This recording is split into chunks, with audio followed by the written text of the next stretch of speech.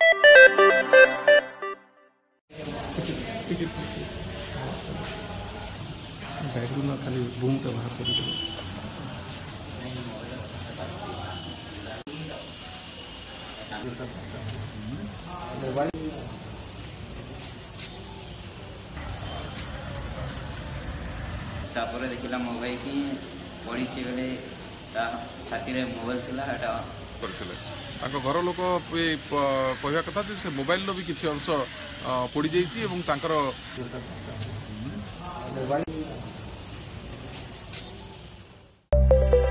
零视频 APP 等你下载。